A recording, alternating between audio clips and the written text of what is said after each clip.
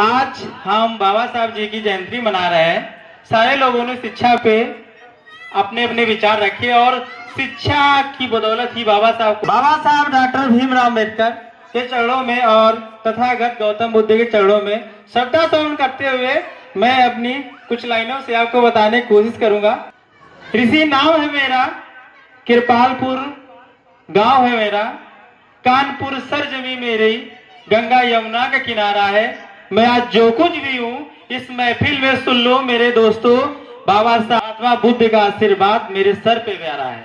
देखो तुम्हारे पास पढ़ने के लिए बहुत कुछ सुविधाएँ हैं। बाबा साहब को क्लास से बाहर रखा गया। वहाँ से पढ़ के आज इतने महान बने, उस इच्छा की बदौलत बने।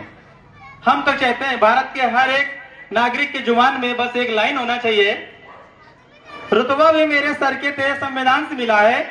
ये सम्मान भी मुझे तेरे संविधान से मिला है। औरों को मिला होगा, तेरे मुकद्दर से मिला होगा। हमें तो मुकद्दर भी तेरे संविधान से मिला है। अगर कॉन्स्टिट्यूशन ऑफ़ इंडिया भारत का संविधान नहीं होता तो हमारे मुकद्दर लिखने वाला कोई नहीं था।